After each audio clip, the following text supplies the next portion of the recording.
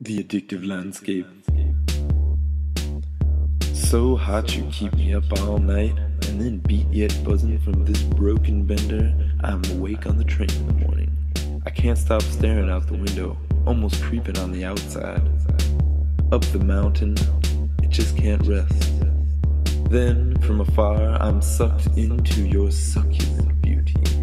Swishing, sloshing, crashing waves, frozen high peaks smelling frosted flora and concrete.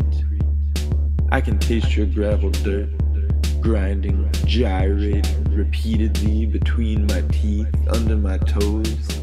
When we touch, finally, I am released, and it blows apart my body and streams out my fingertips, but only for some moments, as I recoil, left in awe as the next delicious piece comes into my view, and I heatedly await as I walk towards the distance.